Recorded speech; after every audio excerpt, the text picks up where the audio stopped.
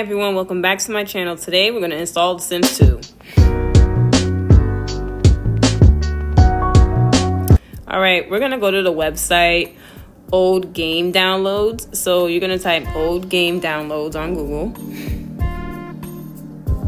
Scroll right there. And this website has any old PC game you can think of. Um, if you really don't want to download The Sims 2, you could download any Sims 2 or old Sims game that you like, I should say. Like, I'm gonna type it here so you can see all the games that it has. Now, these games are archived, and um, these have like Sims 2, Sims 3, there's Sims Castaway, Pet Stories. I mean, it has every Sims game you can think of. So if you really want to download other Sims games, you can always come back to this website. But for today, I'm just going to show you how to install the Sims 2 Ultimate Collection. So I'm going to type it again in a few minutes. Uh, I don't know why I was... this keyboard is so hard to use when you're just using a mouse. But yeah, I'm just typing in the Sims Ultimate Collection. Like, even if you just put The Sims 2 Ultimate Collection, it's still gonna pop up. So there it is right there. It's like right next to The Sims 2. Then you scroll down and you're gonna click that little download link. Uh, if you see on the left bottom corner, I'm already downloading the game. I'm just showing you where to go.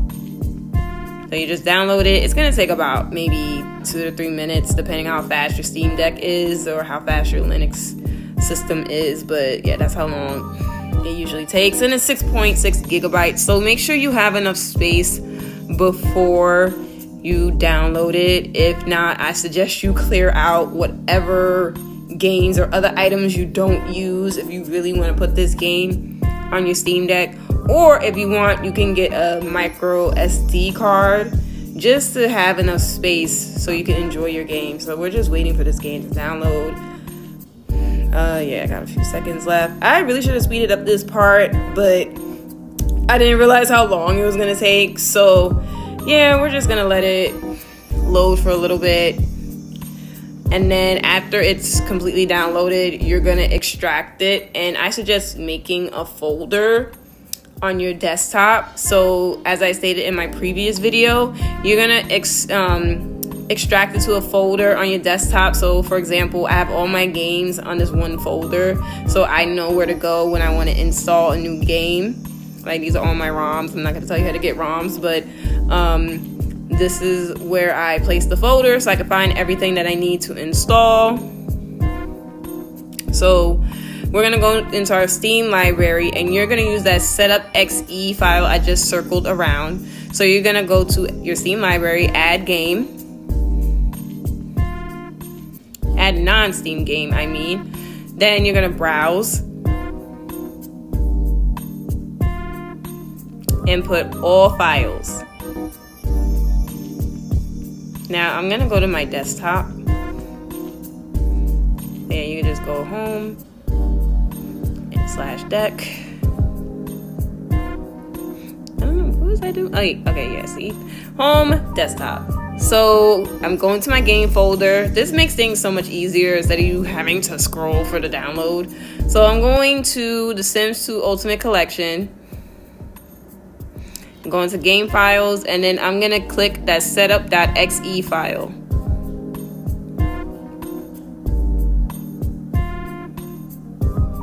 So I already have The Sims 2 on here, but I'm just showing you an example of how to download the game. So you're gonna go to the set, the manage, and go to properties, and then you're gonna change the cap the compatibility to Proton Experimental. Click out of that. Then you're gonna press play. It's going to load the setup, and then you click the little launch setup launch shortcut. Then go to launch shortcut launch on um, the shortcut, you're gonna press that play button, don't touch anything, and you know you did something right if you see the Mr. DJ repacks. So once that pops up, you're gonna see an installation window that says Sims 2 Ultimate Collection. You're gonna click on install And I'm gonna let you know this takes a minute, so I'm gonna speed through this whole entire process right here.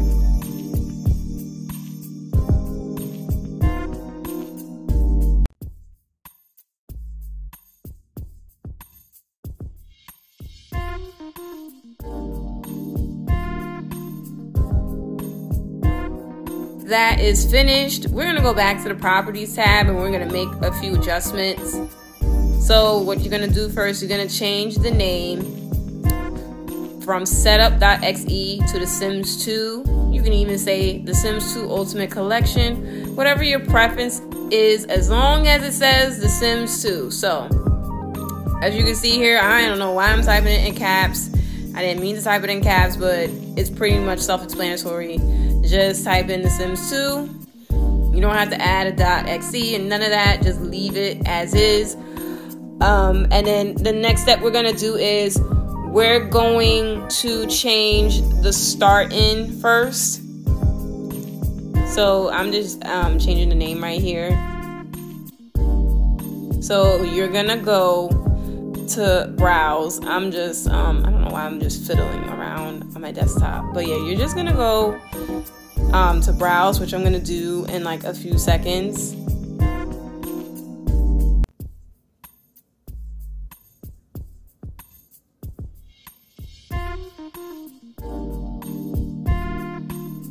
So yeah, you're gonna go to Steam apps, then you're gonna go to Compat data, and then change that date modified to your recent date where you installed The Sims 2. So for example, it says Wednesday, February 1st. Um, I'm going to my PFX file, then I'm going to Drive C, and then once I go to Drive C, I'm going to Program Files, x86, then I'm going to Mr. DJ, Sims 2 Ultimate Collection, and then I'm gonna go to the bin folder in Mansion and Gardens because Mansion and Gardens is the last game for The Sims 2. So if you're ever gonna install mods, anything like that, say you're gonna install like the Inteenimator mod and things like that, make sure it's the um Mansion and Gardens edition. So yes, you're gonna click the Sims Launcher.exe. That's gonna be your target file. So after I did that, I'm going to add the dash W. If you do not add the dash W, your game is going to crash. I'm telling you, you don't add the dash W in that target next to the .xe, your game is going to crash every single time. So after you're done doing that, you're just gonna um you're gonna exit and it's gonna be the same thing on your starting, so you don't have to change that. So exit out. So double check, you know, I was just double checking here. Now I'm gonna go back to gaming mode and I'm gonna see if my game is gonna work. So let's switch to gaming mode.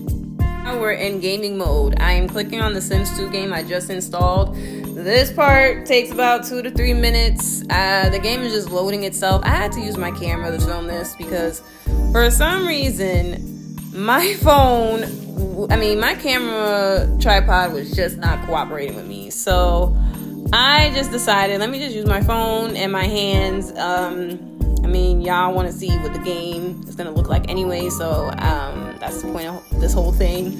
So I'm speeding this all up, letting it speed up because it is a process.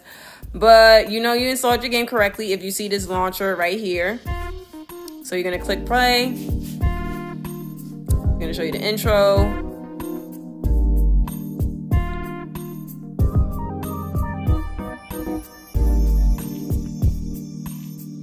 And then here, see, it says mansion and garden stuff. Now, originally, I recorded this with the game I installed myself, and it had all my mods in here. And I was like, oh no, I have to show them like the like the the base game before anything. So here is just creating the pets, you know, the weather, because that's all the expansion packs. You know, we got Bon Voyage destinations, and you got free time, and then you got the magic expansion pack. I forgot the name of it. But yeah, here we are in Pleasant View. And you if you see this, you did everything right. So now I'm gonna show you how to create a mods folder for this specific game. So, as I stated in my Sims 4 video, it's the same thing. You go to local, go to Steam,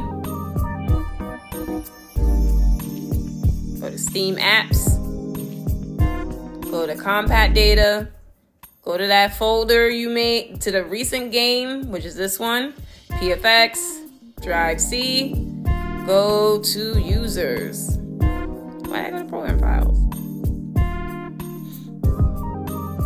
And I was just scrolling around here, but um, yeah, like if you want to install like other stuff for your mods, you have to go to these folders here. But I'm just showing you where to go if you want to change your UI or your cursors. Like I did all that off screen when I installed my own game.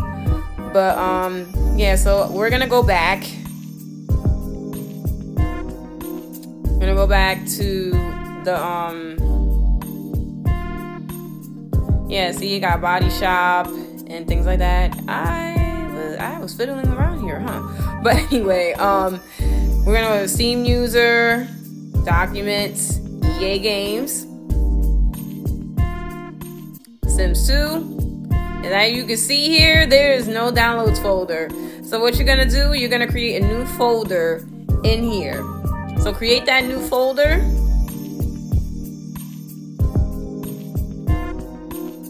And put downloads. It's similar to like when you um, put the downloads folder in the Sims 2 Super Collection for Mac because I remember that game you had to create your own mods folder. It didn't come with a mods folder like the PC version of The Sims 2. So yeah, what we're gonna do here is just put downloads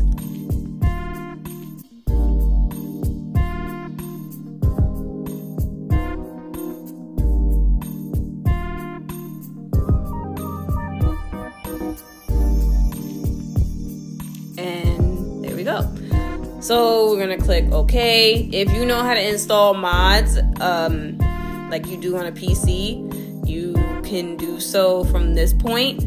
Um, thank you for watching my video. I hope this helped you a lot. If you want to see more content like this, don't forget to like, comment, and subscribe. Bye!